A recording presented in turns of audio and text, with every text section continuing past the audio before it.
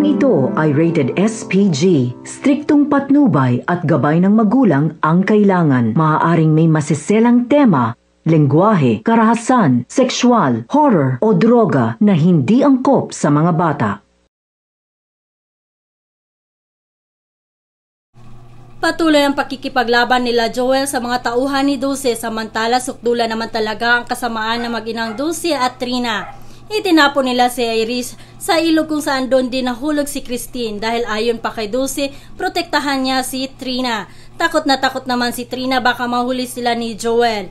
Natalo naman sila Joel sa pagkikipaglaban at pinalaya sila ni Dulce dahil trespassing umano sila.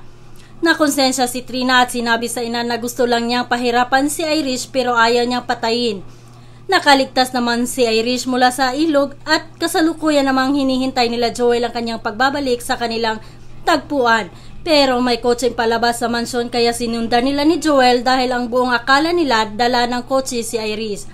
Habang nag-slice naman ng isda ang nakasagip kay Christine, pinanood niya at unti-unti niyang naalala ang mga ginawa ni Dulce at ang kanyang pangalan na isa-laysay naman ni Christine ang kung sino talaga siya at ang mga pangalan ng kanyang pamilya at naalala niya may gustong pumatay sa kanya. Narinig naman nila Joel mula sa mga tauhan ni Dulce na itinapon na ni Dulce si Irish sa ilog at malamang patay na si Irish. Laking gulat naman ni Dulce at Trina nakaupo na sa baba ng kama si Victor at hinahanap si Irish.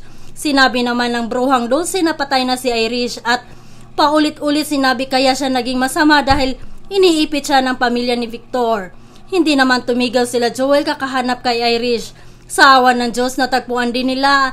Yan po ang mga kaganapan sa babawiin ko ang lahat at sabay po natin subaybayan ang malapit ng pagtatapos ng babawiin ko ang lahat.